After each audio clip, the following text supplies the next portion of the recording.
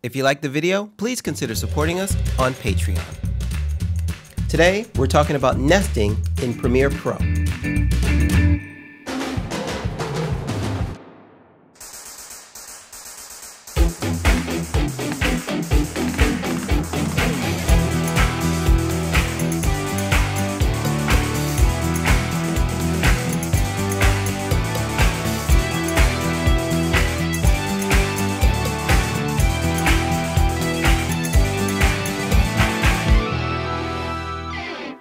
Welcome to Pull My Focus Adventures in the World of Digital Filmmaking, where we bring you the inside tips on making great video. And yes, I got a little carried away with the open this time. Usually I get carried away with the open, but that's not what we're here for. We're here for nesting or questions like why can't I use warp stabilizer and speed at the same on the same clip? Or why do some of my dissolves look funny? And what the hell is a subsequence? So let's get right into it. Now, first of all, most After Effects people will know nesting as pre-comp pre-composing, right? Where you take a bunch of layers, a bunch of video layers, and you make them one clip so that you can bring that into another composition and do some more transitions or whatever you need to do effects or whatever. In Premiere, it's called a nest or a subsequence or a sequence within a sequence.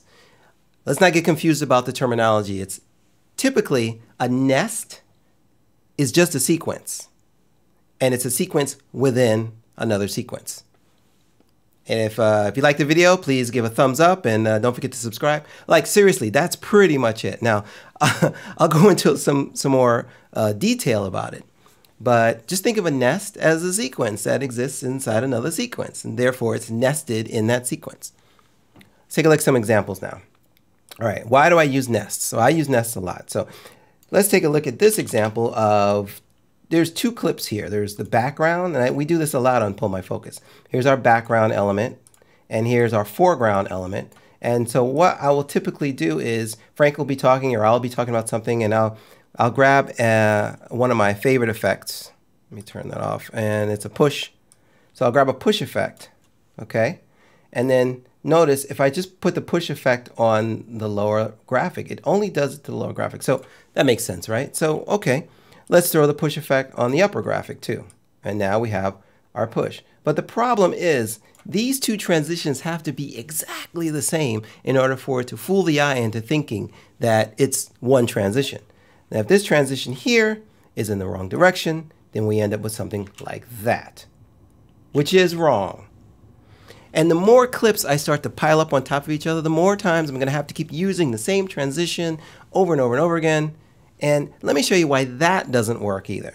So I'm going to undo this. Say we want to dissolve out of this. And I put cross dissolve on both the top and the bottom effects, uh, clips. Now notice when it starts to actually dissolve, and I'll zoom in here a little bit so you can see, it starts to dissolve, but there's a problem. The top clip is dissolving independently of the bottom clip, which means I can see through the top clip because it's dissolving independent of... Okay. The way to fix this and the way to fix the other problem of constantly putting the same trans transition on the beginning or the ends of clips is to use a nest.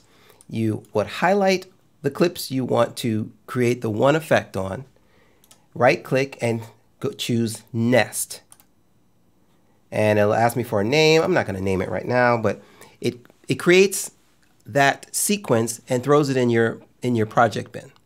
Okay? Notice, now I have one what looks like one clip. It's actually a sequence. It's actually both those clips, but it looks like one clip. And the reason and I got one clip, that means I also get, you know, the same free effects on every clip. Whenever you have a clip, you get these I call them free effects, which is motion, opacity, and time remapping. All right. And if you had audio on it, you'd get, uh, I think, audio panner and uh, something else. But now I can treat this like one clip, which means I can take my push effect, put it on the one thing, and they both come in per perfectly. And if I take my cross dissolve effect, it cross dissolves the right way. See that? No independent dissolving, they both go away. All right. Now, if I double click this nested sequence, there are my elements. There's the top clip and the bottom clip. That's basically it. All right. Let's show you another example. Another example of using Nest is for organization. Now, let's take a look at that little open I did, that little Miami Vice open, because I loved me some Miami Vice. Oh, I loved me some Miami Vice. Go back and get those DVDs because it's terrible and awesome at the same time. So I have this open, but say I wanted to use this open in three or four different sequences in this project. Okay, I could highlight it all or hit Command A, Control A for Windows, and then hit copy, and then go into my uh, sequence and hit paste. But there's a problem. Number one, I'm copying all the individual elements. So if I have to change an element in one of them, I have to change an element in all the places that I copied it into. Undo and nesting to the rescue. So I will come to my open, I will hit Control A uh, or Command A, right click and say nest. And in this case, I can say it's the cool show open. Boom. And I have a nest. All right. And now I can grab this guy. I can copy this guy and paste it. Okay. And anytime I make a change to this, if I double click it, there it is. And anytime I make a change to this, anywhere that I use that nest will update with that change. What other examples uh, do we want to show? Okay, the classic thing where you get stuck because you wanted to use speed and warp. Now, if you've never done this, you're welcome for showing you how to do it in advance because this drove me nuts at one time. Say I want to take this field of beautiful flowers and speed it up. Okay, so what do I do? I grab my rate stretch tool, which is right here, and I'm going to shrink it down so that they're sped up. Great. So now I've sped up my, my move. Okay. But let's say, I mean, this is pretty stable, but let's say, ah, oh, it's not so stable. I want to do some warp stabilization. Okay, cool.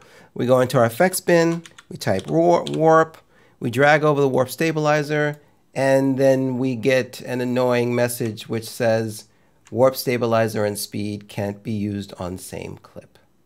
So what do you do about this? These are two incompatible effects trying to be used on the same clip. Well, you can nest the single clip and wrap it, put your, so you're, so you're taking the, the clip and wrapping it in a little container, clip container, that you can then apply the next effect on top of. So if I simply right click this one single clip and hit nest, I'm going to hit OK. Inside this is my clip, as you can see, that I was using. All right. But now, if I drag over Warp Stabilizer, it works. Okay. So this is a cool workaround, and it'll work in reverse too. If you warp stabilize first, and then you want to speed it up, it'll work either way. But you can take one clip and basically pre-compose or nest it or create a sequence out of it, and then add more effects. All right. And there we have it. Boop. And it's warbly goodness. Yes. Use warp stabilization lightly, please. Now, another thing I want to mention is the difference between a nest and a subsequence. Okay. So, a subsequence, and it's really simple, a nest will take, let's say we take all this junk here. I'm going to zoom out a little bit all this stuff here and we want to nest it. Okay, so if I say right click nest and I give it a name, notice that it took everything with the exception of the audio, which I will tell you about in a second. It took everything that was on the video timeline, made a nest out of it, and then replaced those clips with the nest. Okay, if I double click this, you'll see everything is, is still there, including the audio but it did it did an automatically it did an automatic replace of it. When you use make subclip, which some people have seen, if I right click and go make I'm sorry, make subsequence. When you do make subsequence, watch what happens. Okay, it looks like nothing happened, but actually it put a subsequence in your bin with the name of the sequence underscore sub underscore and a number so it doesn't duplicate numbers. And But it doesn't replace anything on your timeline. It doesn't alter anything on your timeline. It doesn't take those clips that it made a sequence of and replace it. That's the only difference. A nest will automatically replace those video clips with the subsequence. A subsequence creation will not touch anything. Why do you use this? Some people use this to create backups, right? So if I was in the middle of doing something and I highlight this and I go make subsequence, it throws that sequence in the bin so that I can maybe do some more changes here and have a pseudo backup of that sequence. I can use it later, all right? So there are some, some workarounds for the non-revisioning stuff in Premiere. Come on, Premiere. Let's, let's, let's get revisioning in there. Let's get versions in there. All right. One other thing is that Premiere will not alter the time or the duration of a nested clip. And this is important. I'll show you what I mean. So if I have a clip, let's go back to our poppy seeds. And they're not poppy seeds. I don't know what they are. They're flowers. And I create a nest. Right click and hit nest. Give it a name. Hit OK. All right. Notice that it shows us this is the entire size of the clip. Okay, if I double click and I see my elements in there, great. Now, what if I take these elements and I shrink them? I made them smaller. Do you think Premiere will take that nest and ripple everything in that uh, sequence that's using that nest? It can't do that because it might mess up some audio, it might desync some clips, it might really blow it. So what Premiere does is it says, hey, look, your clip that used to be this long, all the information runs out here. And we're going to give you these striped lines to show you that the information is pretty much done. Okay. The way to fix this, if you care to fix it and not have a big blank space in your timeline, is you're going to grab the end of the clip and pull it all the way past that marker where it says this is the end of the stuff and then pull it back out. All right. So if I undo that, if I were to use, say, my, um, my, my command key and get the little yellow ripple and do that, that pulls everything over and then I can ripple back out. All right. Basically, it will not mess with the duration. It cannot. It won't even in reverse. Even in reverse, if I take this, let's zoom back out, and I make this double the size, so let's take these guys make them their original size again, and then make this even longer, right? This footage actually goes even longer. Now, the nested clip is longer than what exists in the um, timeline. But you can see Premiere says, hey, here's the beginning, because there's that little triangle that denotes the beginning, but there is no end triangle, which means there's more stuff here. If I just drag this up, and now I can manually drag it out, okay? So it won't mess with the durations. That's up to you. That's, that's on you. That's on you. All right. And finally, I have one more little tip. Now, people sometimes wonder why you can't nest audio. Let's grab uh, all this audio right here. Now, there's nothing but audio. Okay. If I go right click, I don't get a nest option. And that's because Premiere wants video. It wants to take the video. Remember, the, the nest option doesn't mess with the audio.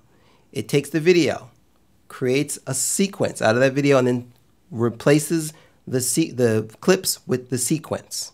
And it doesn't alter the audio, although it does include the audio in the nest. Okay.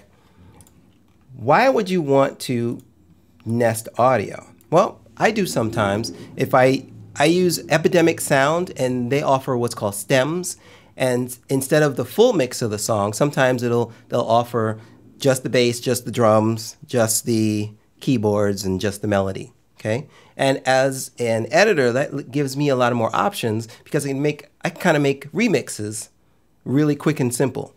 Uh, for example, check this out.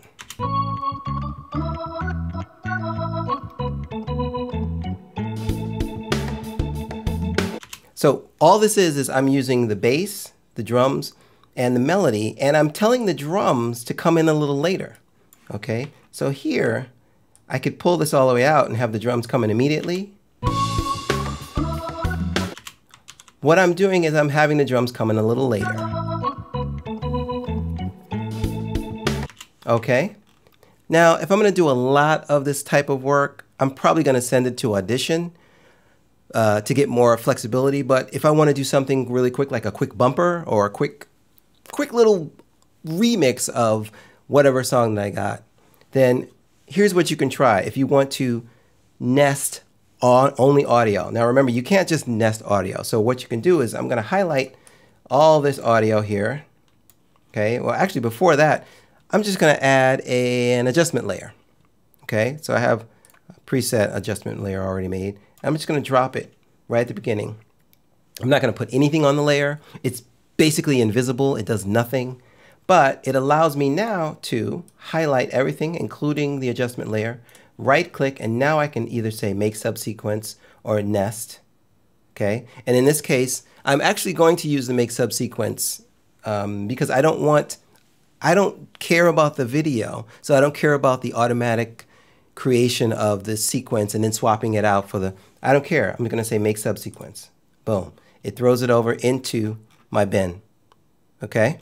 And now if I double click, I can see there's my subsequence with my little dummy track. Now I have options here. I can just, I can delete this completely. Okay. I can turn it off like that. But in this case, I'm just going to delete it. Now, it took one more step, but I now have nested audio. So just to recap, nesting is just the process of taking clips and creating a sequence out of them. Because normally you're starting with a sequence and adding clips. Nesting is just doing it the other way. A subsequence, make subsequence, will create a sequence and throw it in the bin, and it won't swap your video clips with that sequence that it just created. It won't do a swap. That's what make a subsequence is. Uh, and it's useful for organization. It's useful for putting an effect on many clips. It's useful for uh, getting around the warp speed problem. So get used to nests because they become really powerful. If you think like an After Effects person, it's pre-composition, which allows you to make some really fancy effects in Premiere Pro CC. And that's it for this time. Thank you for watching. Remember, check out pullmyfocus.tv for all of our articles and videos. And also, we have consulting services available on Pixel Valley uh, Studio. If you check out our website, you can you can have a short session with myself or Frank and talk about whatever projects you're working on, and uh, we will be happy to help you. I'm off. Wait, no, that's